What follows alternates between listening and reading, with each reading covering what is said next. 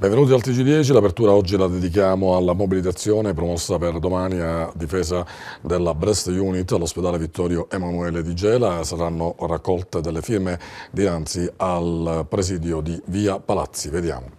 Aprire subito la Breast Unit all'ospedale Vittorio Emanuele. L'appello lanciato in questi giorni da Cantiere Gela ha raccolto numerosi consensi e domattina dalle 8 dinanzi al presidio ospedaliero di Via Palazzi si terrà una raccolta di firme.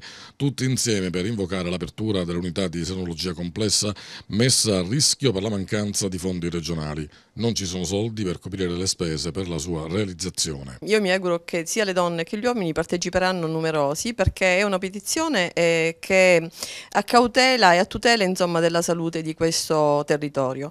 Eh, verranno anche, ho il piacere, eh, praticamente verranno anche gente comunque dei paesi limitrofi, proprio perché sentono eh, questo tipo di problema, è un problema anche loro. Noi abbiamo voluto fare subito la raccolta firme e sensibilizzare quindi il eh, manager dell'ASP eh, proprio perché riteniamo che non c'è un problema di soldi.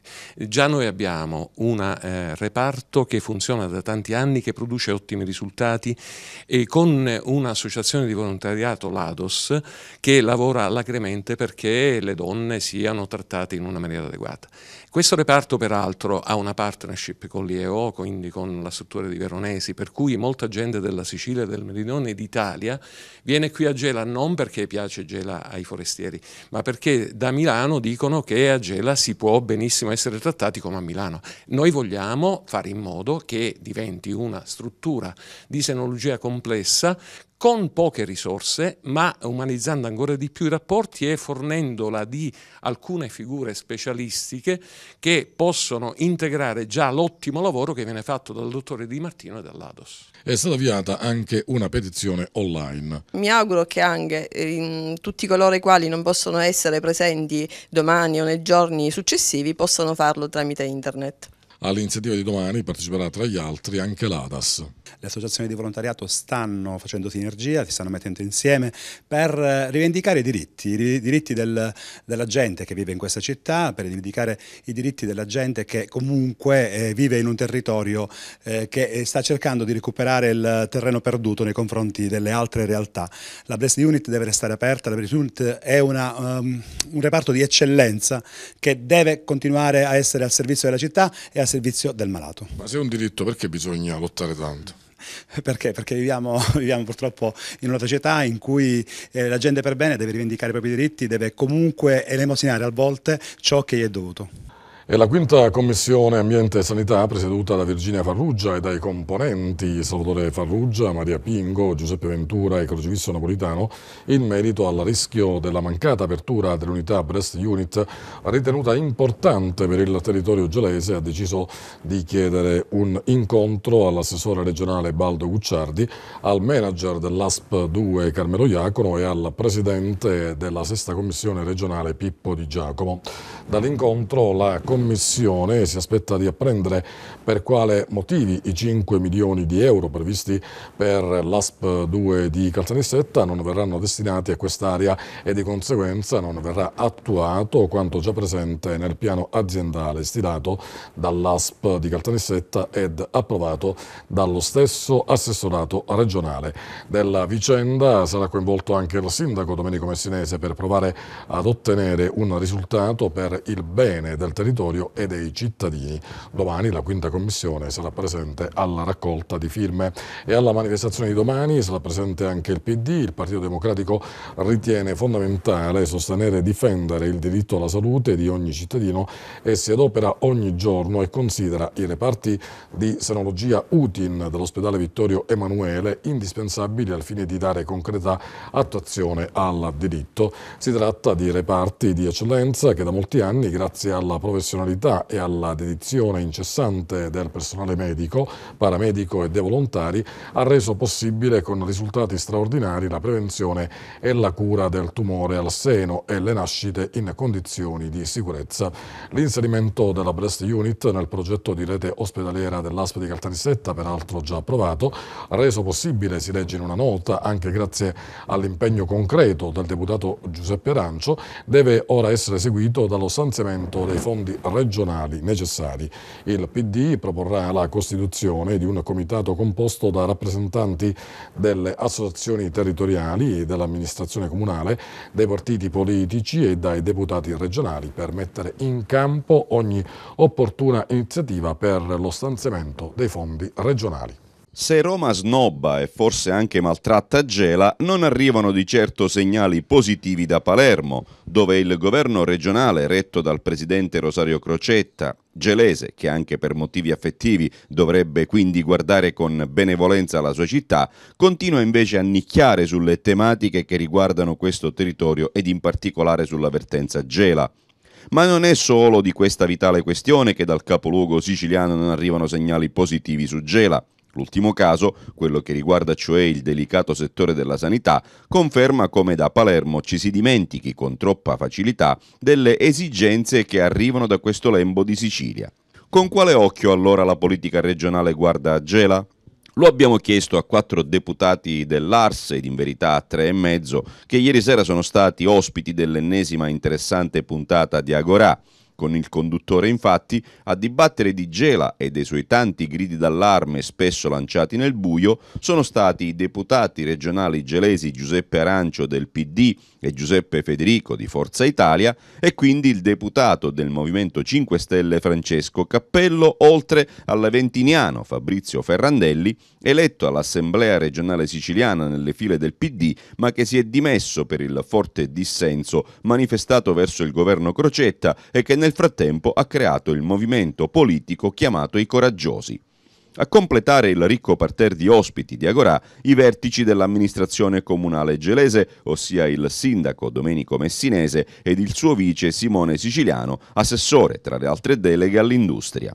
Nel corso del rotocalco settimanale di Canale 10 non si è persa l'occasione per parlare anche di politica in senso stretto, con ad esempio un approfondimento sull'espulsione del sindaco messinese dal Movimento 5 Stelle e di veri motivi che l'hanno determinata o con le ragioni che hanno indotto Fabrizio Ferrandelli a lasciare la sua poltrona all'Ars, fino ad arrivare alla conclusione, condivisa da chiunque, che quella che andrà a concludersi l'anno prossimo sarà ricordata come una delle legislature più sterili della storia moderna del Parlamento siciliano. Al centro però, come sempre accade ad Agorà, c'è stata Gela e le sue tematiche più pressanti sul tappeto. E tutti gli ospiti di Agorà, a prescindere dall'idea personale o di partito, sono stati concordi con l'affermare che questa città, dilaniata da mille problemi, si salva solo se si rema tutti dalla stessa parte, ossia dalla parte di Gela e dei gelesi. Chi volesse rivedere questa importante puntata di Agorà potrà farlo con la replica integrale che andrà in onda domani sera su Canale 10 a partire dalle ore 21 oppure attraverso i nostri indirizzi social, e cioè il sito internet www.tg10.it ed il profilo Facebook di Canale 10.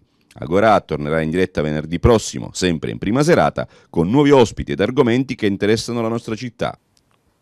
E l'abbiamo visto dal servizio, ieri era ospite nella trasmissione Agora anche il eh, deputato Fabrizio Ferrandelli, leader dei Coraggiosi, che dieci mesi fa ha lasciato la sua poltrona da deputato regionale del PD all'Ars per lanciare una sfida di rinnovamento del partito e di superamento dell'attuale gruppo dirigente che governa la Sicilia. Ieri eh, Ferrandelli è stato a Gela e ha incontrato eh, Alessandra Acia, Salvatore Gallo e Carlo Romano ehm, e dunque dunque è scaturito, si legge in una nota, che non è più solo la base che chiede un rinnovamento, non sono solo i cittadini che hanno un rifiuto di un pezzo eh, di ceto politico, ma è opinione diffusa, presente e profonda in tutti i corpi della società. Ferrandelli sottolinea che ho visto negli occhi degli amici del PD di Gela la voglia di muoversi e nel rispetto delle scelte individuali interne al PD siciliano ho trasmesso la mia convinta disponibilità al cambiamento radicale radicale della storia della politica siciliana. La pagina della cronaca giudiziaria deve scontare 10 mesi e 15 giorni ai domiciliari il 36enne pregiudicato mazzarinese arrestato dai carabinieri in esecuzione eh, di un ordine emesso dal Tribunale di sorveglianza di Caltanissetta. Si tratta, lo vediamo nella foto, di Carmelo Scaffini. È ritenuto colpevole dei reati, tutti commessi a Riesi, di rifiuto di accertamento dello stato di ebbrezza, ricettazione e della violazione della misura di prevenzione della sorveglianza speciale di pubblica sicurezza. Continuano purtroppo i naufragi sul Mediterraneo, ancora un barcone strarico, stracarico di migranti e semi affondato, sul posto eh, poche ore addietro è intervenuta la nave Vega della Marina Militare che ha salvato 135 persone, 45 invece i corpi recuperati mentre si teme che i dispersi siano decine. Eh, sono state ben 17 eh, nelle ultime ore le operazioni di soccorso coordinate dalla centrale operativa di Roma delle Capitanerie di Porto. Noi ora ascoltiamo il comandante generale delle Capitanerie di Porto, l'ammiraglio Vincenzo Melone, che ci parla proprio di questa tragica vicenda. Per quanto riguarda il problema dell'immigrazione, lo vediamo tutti i giorni. Siamo di fronte a un evento epocale di fronte a un evento biblico, sono parole non mie ma usate dal Presidente della Repubblica, da Sua Santità Papa Francesco.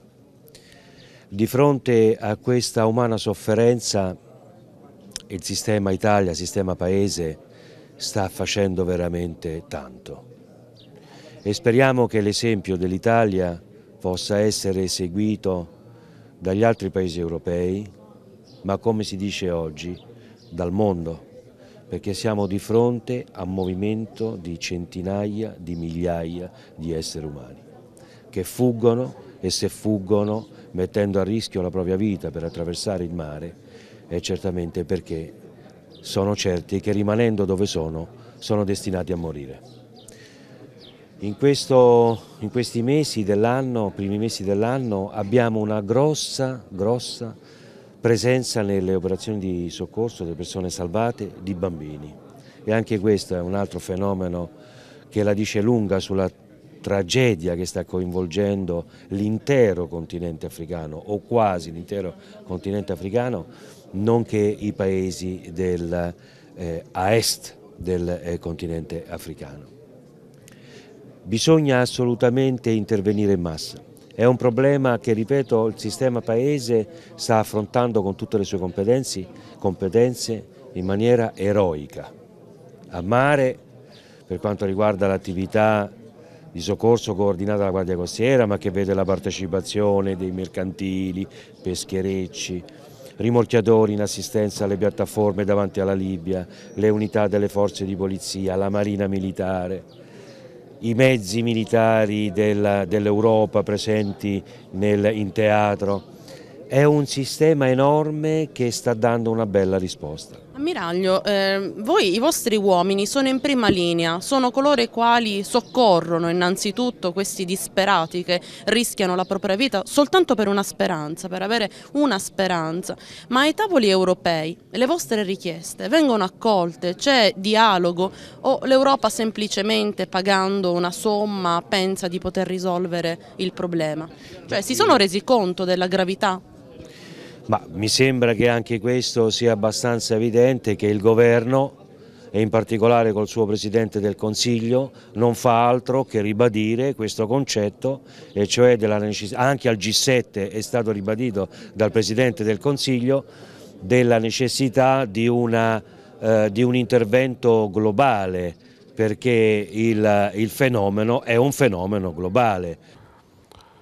Ennesimo appello a tutta quella classe politica al fine di sensibilizzare il Presidente della Regione siciliana, Rosario Crocetta, a convocare con urgenza una riunione per decretare il finanziamento del porto di Gela. È quanto eh, lanciano come appello il comitato, i componenti del comitato eh, portuale gelese. In mancanza di un riscontro immediato, si legge in una nota, eh, scatterà una protesta fino a quando non si avranno delle risposte concrete da parte del governatore e da tutta la politica giarese. Proprio dell'insabbiamento del porto, ieri Fabiola Polara ne ha parlato con il sindaco di Gela e con il vicepresidente della regione. Ci sono anche le interviste dell'eurodeputato eh, di Forza Italia Salvo Pogliese e del vice sindaco Simone Siciliano. Sentiamo a che punto sono i lavori per la riqualificazione del porto rifugio e quale slancio nuovo per il porto commerciale.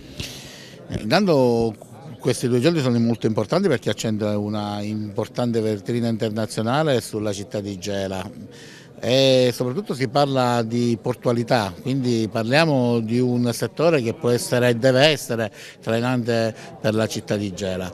E noi ci siamo impegnati sin da subito per quanto riguarda riqualificare, rimodulare, rilanciare la portualità di Gela, sia per le infrastrutture esistenti sia per la possibilità anche di averne di nuove che siano comunque eh, sostenibili con il delicato sistema che abbiamo all'interno del Golfo.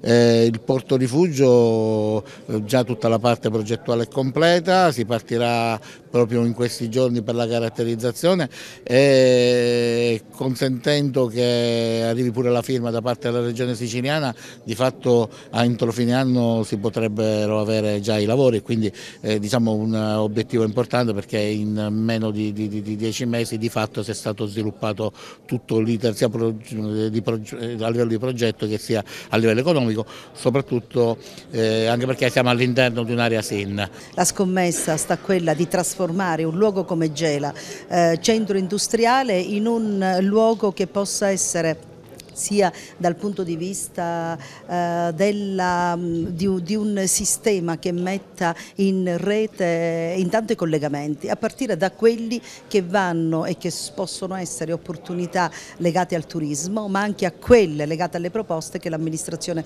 comunale ha, ha fatto. Mi auguro, a differenza del passato, che la Sicilia non possa più perdere, come è accaduto nel 2007-2013, un miliardo di euro, che credo gridi vendetta al mondo intero per responsabilità tutte nostre, lo dobbiamo dire con grande umiltà e quindi mi auguro che si possa invertire la rotta, mi auguro che le ingenti risorse della nuova programmazione vengano utilizzate in maniera molto più oculata rispetto al passato e ovviamente non vengano disperse nei meandri della burocrazia, cosa che puntualmente è accaduta. L'amministrazione ha voluto diciamo, segnare storicamente con l'emissione di una delibera di giunta che eh, espone l'amministrazione politicamente ad una scelta forte per percorrere con passo deciso quello che da mesi sosteniamo, cioè la volontà di far parte di un sistema portuale sinergico, completo, competitivo, che possa permettere di dare al territorio la dignità di ricostruirsi un futuro, un futuro basato sulle attività commerciali in mare, un futuro basato su quella che è un porto industriale e un porto turistico che necessitano di essere riqualificati per rimettere Gela nel sistema competitivo che porti il Paese, il Paese Italia, a potersi giocare una partita importante all'interno delle rotte del Mediterraneo. Riapriamo la pagina della cronaca giudiziaria. Quattro persone sono state denunciate dalla polizia di Gela per diversi reati. Un trentenne deve rispondere di furto in abitazione ed un 33enne per porto abusivo di un bastone. Un ragazzo di 22 anni è stato sorpreso con della marijuana mentre un 32enne per inosservanza di un provvedimento cui era sottoposto. E in edicola, e lo vediamo, il Corriere di Gela, settimanale indipendente di attualità, politica, cultura e sport, diffusione comprensoriale, fondato e diretto da Rocco Cerro. Futuro economico possibile, la ricetta è dal presidente dei commercianti gelesi, Pino Nicoletti, intervistato da Nello Lombardo. L'analisi del professionista è puntuale e arriva da un osservatorio privilegiato. L'argomento apre la prima pagina del giornale. Altro argomento, altra intervista, bonifiche, ambiente e sanità. L'approfondimento su questi temi è affidato a Virginia Farrugia, presidente della Commissione consigliare permanente alla sanità e all'ambiente con un passato in Lega Ambiente. In prima pagina anche la rubrica di Giulio Cordaro, politicamente scorretto, tema affrontato, la circolazione ballerina in zona centro storico. Altro tema interessante affrontato dal giornale è la mobilitazione della città sulla questione Breast Unit, struttura sanitaria destinata all'ospedale di Gela, messa in discussione, ne abbiamo parlato, dalla riduzione dei fondi regionali.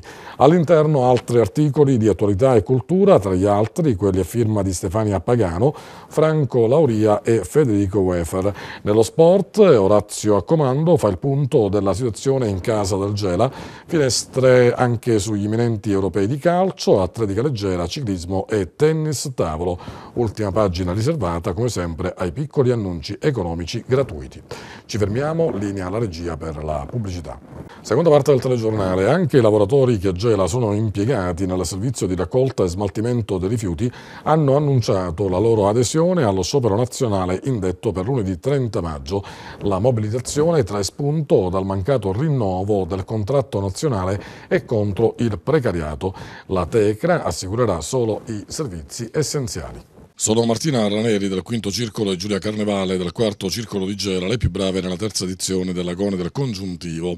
Le due allieve si sono classificate al primo posto in due distinte graduatorie della gara biennale ideata dall'insegnante Rosalba Occhipintilana, che quest'anno ha coinvolto 90 alunni provenienti da otto scuole di Gela, impegnati in una gara dedicata esclusivamente all'uso del modo verbale del congiuntivo, per un totale di 171 risposte corrette distribuite in 26 esercizi. Al secondo e al terzo posto nella classifica della scuola organizzatrice ci sono Giulia Garofalo e Carla Tedesco. Sul podio tra i partecipanti esterni Valerio Salerno del secondo circolo didattico e Gaetano Alessi del comprensivo Giovanni Verga. I bambini hanno risposto in maniera eh, importante. Eh, anche le scuole hanno risposto, mh, mm, sono mm, un'esperienza esaltante come sempre eh, speriamo di continuare, di continuare mm, a parlare bene ed elegantemente nostro, la nostra bellissima lingua. Ai vincitori sono andati complessivamente 750 euro. La commissione, presieduta dal giornalista Franco Infurna, è stata composta da Pinarces Giordano, Ferdinando Ferrara, Mariella Letizia, Carmelo Guastella e Andrea Cassisi. Ottima partecipazione anche in questa terza edizione dell'Agone del Congiuntivo, tanti giovani e tanti bambini hanno partecipato e alla fine, dopo aver eh, verificato gli elaborati, purtroppo abbiamo dovuto notare che il 50% non raggiunge la sufficienza, il, eh, appena il 15% eh, raggiunge il giudizio di buono e solo il 10% circa il distinto. Purtroppo non c'è stato nessun ottimo e quindi evidentemente anche eh, le maestre avranno il loro da fare per eh, insegnare il congiuntivo ai loro ragazzi. C'è un grosso sforzo da fare in tutte le scuole. Si terrà lunedì 6 giugno alle 18 presso la caserma Guccione di Viale Regina Margherita a Caltanissetta la celebrazione del 202 annuale della Fondazione dell'Arma dei Carabinieri. Avviate le procedure da parte dell'ASP di Caltanissetta per la copertura dei posti vacanti. Approvato l'atto aziendale, definite le piante organiche con il decreto assessoriale, il direttore generale Carmelo Iacono ha dato il via a tutte le procedure per definire il modello organizzativo della sanità provinciale, verificando tutti i posti vacanti sul territorio e avviare la stabilizzazione, la mobilità e i concorsi. Sono state infatti inoltrate all'assessorato le richieste per la copertura dei posti di direttore delle strutture complesse già esistenti nei presidi dello all'ospedale Sant'Elia di Caltanissette e al Vittorio Emanuele di Gela. Avviate anche le procedure per istituire a Gela la nuova unità operativa Breast Unit per la cura e l'assistenza delle patologie neoplastiche alla mammella. Faremo un piano triennale di assunzioni e quindi creeremo delle priorità. Ovviamente è sotto gli occhi di tutti, e lo abbiamo detto in tutti i modi, che il tetto di spesa che ci è stato assegnato di 138 milioni di euro è assolutamente insufficiente per realizzare il progetto che noi abbiamo proposto. Il risultato è che non abbiamo potuto dotare come previsione tutte le strutture con le dotazioni organiche previste dagli standard, cioè ci siamo avvicinati agli standard ma non ci sono gli standard. Abbiamo dovuto mantenere l'apertura dell'ospedale di Mazzarino, dell'ospedale di Niscemi e abbiamo dovuto non depotenziare l'ospedale di Mussomeli. Questi sono degli oneri importanti che ricadono su quella che è l'organizzazione generale. Tra le altre cose, noi abbiamo incombenze che non sono soltanto di tipo ospedaliero, vi sono tutte le fasce deboli da proteggere, ad esempio l'Alzheimer e l'autismo. Queste fasce prima erano protette con del personale che era personale co-co-co, nel senso a contratto. Adesso questo personale deve rientrare dentro la pianta organica. Altro elemento importante, ci è stato segnalato che dobbiamo inserire nei fondi, nel tetto di spesa, anche la centrale operativa del 118, dove ci sono 9 medici e 32 infermieri che devono rientrare dentro questo tetto di spesa. Allora voi capirete che per avere tutte queste cose i 138 milioni non sono sufficienti e quindi non è che manchino 5 milioni di euro come vanno dicendo tutti, mancano 15 milioni di euro per poter attivare tutto. Ritorna la manifestazione 4 Amici al Bar promossa da Holiday Web e Croce a Tardi. Si comincia oggi dalle 17 alla mezzanotte. Appuntamento in Vico Cadorna. Si tratta di una rassegna d'arte con esposizione di quadri, sculture e fotografie. Abbiamo concluso anche per oggi. Grazie per averci seguito. Vi auguriamo un buon fine settimana. Appuntamento a lunedì.